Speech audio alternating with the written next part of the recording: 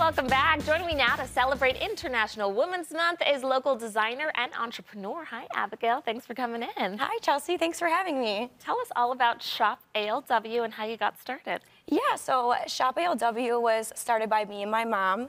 Um, during COVID, we teamed up to hand sew masks in our basement. There was such a demand that we were sewing every single day in our free time. And with that, I knew I really wanted to start a small business, just didn't know what. Mm-hmm. And that really gave me an idea of what it looked like to really run a small business. So after that, we started creating and designing We've been working on this for a few years now and have been launched for three months. Oh my goodness. Okay, yes. very brand new. So how did you get into designing bags? We went from masks to bags. yes. So I knew I, like I said, I knew I always wanted to be in something creative. I just didn't know what. So my mom called me one day and said, hey, what do you think about making purses? And I said, I don't know. But with a lot of thought and time and design processes, um, everything's came to work out beautifully, so we're really happy. Where do you find the inspiration? We're seeing obviously your bags that you brought in, and they're super cute and, and unique. How do you find the inspiration for your designs? Yeah, so, you know, I find a lot of inspiration off of the latest trends and styles, but I love to put my own unique twist on things, uh, whether that's having a bag with a cheetah pattern, um, the crocodile style or corduroy. So I really try to involve lots of different patterns, styles into the brand and try to make something for everyone. And where do you sell your products? So we are online okay. and you can shop at www.shop-alw.com. Um, we also do sell through Instagram, so you can always send us a DM on there. Okay, walk us through the design process of when you're handcrafting these bags. Yeah, so you obviously want to start with a vision. You need to have an idea in mind of what you want to make. So we start with that, and then comes a pattern. And followed by that is cutting each piece individually. It's very intricate. Mm -hmm. So after that's done, we sew everything on an industrial sewing machine.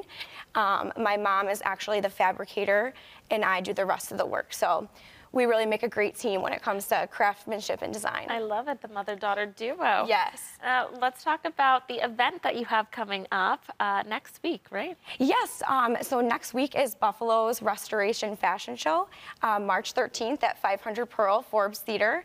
Um, so by attending, you will contribute to helping those with mental health issues, disabilities, um, sobriety issues, and just kind of overall helping their well-being and independence. So it's going to be a great show for a great cause and lots of different designers involved. Alrighty, nice. We'll be having them on the show next week to talk about it. But how did you get involved in the show, especially being so new? Yeah, so marketing is very powerful. I'm learning mm -hmm. um, through social media. So I actually just started to follow a bunch of different accounts, you know, to gain those followers back and the director reached out to me and asked me if I wanted to be involved. And I was on cloud nine and said yes right away, and it's been a journey ever since. How cool. Okay, very exciting. Your first fashion show coming up. Yes. Um, you know, obviously, we brought you in not only because we love your work, but we're celebrating women and women owned businesses this month. So, talk about some of the challenges that you faced and had to overcome being a woman running your own business. Yeah, so it definitely has its challenges, I've realized. Um, you know, working with a lot of people in the industry is very male dominated. Mm -hmm. um, so when I do find myself coming to events and different shows, it's almost in a sense you have to prove yourself. Um, so it's been a challenge and very fun, but I'm very excited to be in business with my mom. What do you see for the future of Shop ALW?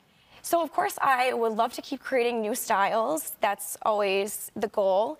Um, we do have the fashion show coming up and I just hope to be a part of as many festivals and shows that I can be.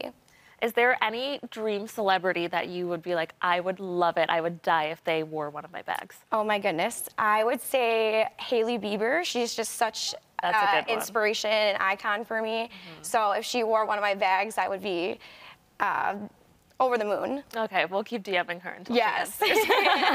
I love it. Well, congrats on your success. You've got beautiful designs. And viewers, if you would like to find Abigail's products, you can do so by visiting her website at shop-alw.com or be sure to find her at the upcoming Restoration Fashion Show at the Forbes Theater on March 13th. Thanks again, Abby. Thank you so much.